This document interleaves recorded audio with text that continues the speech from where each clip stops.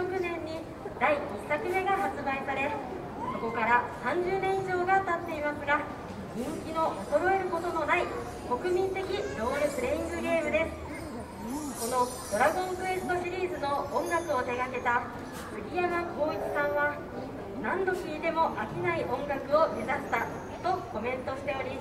その言葉通り何度聴いても飽きることのない音楽はゲームとともに大人気となりました。コロナウイルスが収束し穏やかな日々が戻ることを願って最後に希望に満ちた曲で今回のコンサートを終了とさせていただきます。ドラゴンクエストコンサートセレクションです。本日はありがとうございました。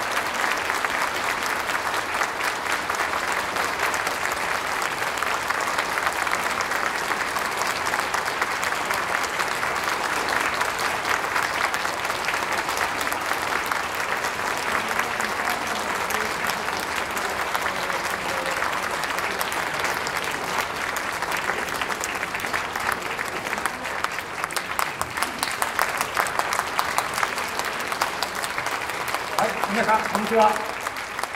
え今日はたくさんのご来場ありがとうございます。今の拍手はアンコールとよろしいでしょうかアンコールありがとうございます。アンコールとしましてロックンロール。アメリカのロックンロール。ロックアランドザクロックをカナーガルの演技でお送りしたいと思いますで先ほども言いましたがえ今回の移動で6名の隊員が今日をもって除隊します。隊員の方除隊する隊員の方起立そう来た来たえそれとカラーがありますこの6名がですね今日をもって最後にあすで4月からですね新しい6名が入ってきて新体制で頑張っていきますのでこれからも音楽隊の応援どうぞよろしくお願いいたします。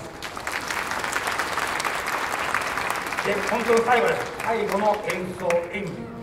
このロックアランドザクロックで締めたいと思います。本日はありがとうございました。